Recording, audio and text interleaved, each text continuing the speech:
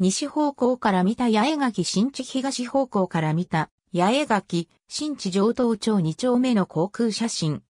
赤線内が八重垣新地。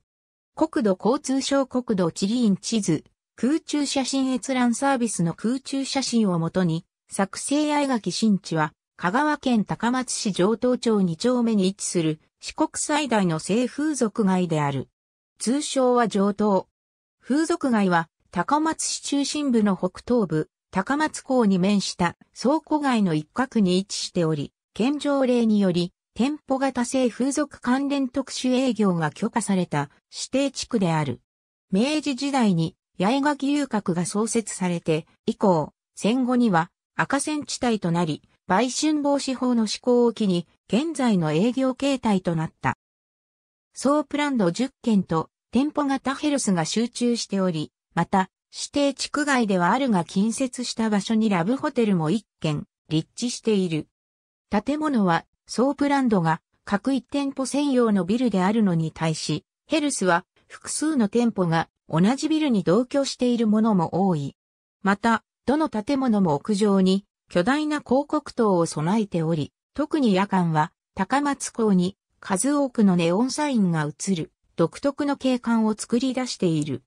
風俗街が位置する上東町2丁目は高松港に突き出た小さな半島であるため、この風俗街は周囲の市街地からは地理的に隔離された格好になっている。指定地区の周囲は約430メートル、面積は約1.4ヘクタール。歓楽街はこの範囲の中のみに収まっており、周辺に繁華街は形成されず、倉庫や漁港、民家が位置しているのみである。この地区の法令上の扱いは、風俗営業等の規制及び業務の適正化等に関する法律に対応して、香川県条例で定める風俗営業等の規制及び業務の適正化等に関する法律施行条例で指定された店舗型性風俗特殊営業の許可区域である。すなわち本来は香川県内全域で禁止されている店舗型性風俗特殊営業の1号営業、2号営業及び6号営業が例外的に許可されている場所である。ちなみに他に、県内でそれらが許可されている場所として、琴平町の一部区域がある。四国最大の高松都市圏の中心都市であり、また、四国各地からの鉄道の集中点で、本州との航路も集中する交通の結節点という立地条件もあって、この地区の集客地域は四国各地だけでなく対岸の岡山県も含まれる。四国他県においてはこの地区と同様の許可地区があるのに、対し、対岸の岡山県には、その許可地区が存在せず、県内全域で、店舗型性風俗特殊営業の1号営業、2号営業が禁止されているため結果的にその需要をこの地区が吸収している状態である。ちなみに現在、岡山県内で営業しているソープ及び店舗型ヘルスはいわゆる一代営業と呼ばれるもので、禁止前から営業している既得権営業であるため同県における新規開業は不可能であり、なおかつ現在営業中の店舗も廃業もしくは経営者の死亡などにより一旦営業不能になれば、再度営業を再開することはできない。このためそのような地方においては時間の経過とともに、性風俗店は減少していく一方となる。ただし、無店舗型のデリバリーヘルスなどは、この規制に当たらないため、そういった業種に限っては、岡山県でも香川県と同様に展開している。現代における性風俗。これに基づく範囲は以下の通りである。この範囲を住居表示で表すと、上東町2丁目6番7番8番9番10番の外区が該当する。また、この条例で指定される以前の風俗街の範囲は現在よりもわずかに広く現在南限となっている東西方向の指導に面する建物は風俗街の一部であった。この地区における性風俗の歴史は明治時代初期に創設された八重垣遊郭に起源を持つ。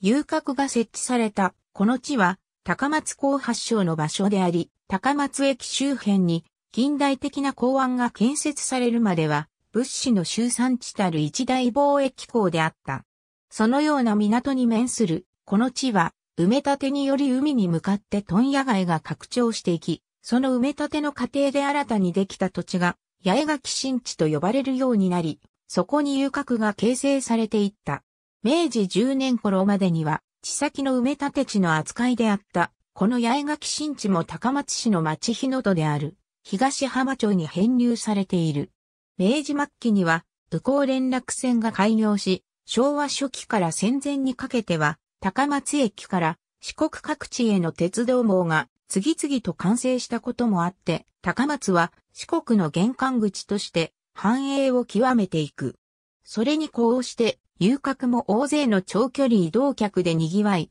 最盛期の昭和初期には38軒の店が軒を連ねる、不夜城の様相を呈していた。高松市、八重垣遊郭は、香川県高松市東浜町にあって、山予線高松駅から東へ約4丁の古所にある。高松市は松平市の球場下で内海に臨んだ玉藻城の眺めは瀬戸内海高校舎を秘密く喜ばせるものの一つである。高松で名所は栗林公園と八島である。ことに八島は風光がよく四国第一と言われている。段の裏は那須余一線の的でおなじみであらふ。いわゆる源平団の裏の古戦場で、平家の全滅した書である。この遊郭は明治元年頃に創立されたもので、貸し座敷は目下34件であって、将棋は180人いるが、大阪府及び中国地方の女が多い。店は影店を超つていて、将棋は全部イカセギ制である。遊興は時間割または仕切り花制で、費用は1時間遊びが1円50銭、前、昼が8円、前夜1泊も8円で、税は1割である。うつのものはつかない。二枚観察の女がいるので、芸儀はいない。義郎は、雪松郎、万松郎、松竹、久富、松久、朝広郎、新月、久井郎、末広、小一、松の家、橋本郎、新入線、国兵衛、郎、初日亭、松ヶ江、吉山、敷島楼、菊水、東楼、竹の家、勝木、一の谷、三木、岩木、楼、烏葉屋、昇格、楼、福富、海勢、楼、花の家、玉の家、新興、楼、大和、一力、等である。全国遊郭案内日本遊覧車、1930年。この資料によると、八重垣遊郭は明治元年にこの地に設置され、1930年時点で34件の店舗と180人の遊女を要していた。遊女は通常街頭から見える位置ではなく店の奥で待機していた。全員が住み込みで働く形態で、遊女が芸者の役も兼ねていた。また、客に料理を提供するシステムはなかった。料金は時間制であったが、主に京阪地方で見られた仕切り花という長時間割引の制度もあった。その料金は1時間ごとに1.5円、宿泊が8円で、そこに10%の税がかかる仕組みであった。1945年7月4日の高松空襲で、遊郭は消失。翌1946年には GHQ によって交渉制度が廃止されたものの、その後は売春宿が立ち並ぶ赤線地帯となった。高松空襲で壊滅的な被害を受けた高松市中心部では、大部分で土地区画整理事業が施行され、八重垣新地もその第一校区二軸域として区画整理の対象となった。